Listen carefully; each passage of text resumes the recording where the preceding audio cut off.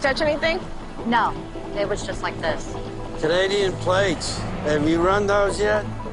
Yeah, the plates were reported stolen off another vehicle in Quebec three weeks ago.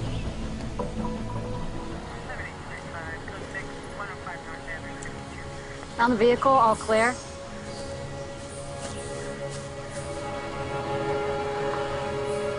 That doesn't make any sense. Why would she try to infect them a second time? They're already sick.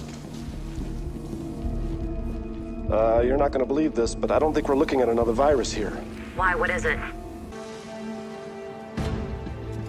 Nick, you need to see this. There was an explosion at the plant. Apparently, there's some kind of PPH seepage. Our water's contaminated? They don't know yet. They think it might be terrorism. Police! Attention residents, this is the Brookwell Police Department. This is not a drill. You're being a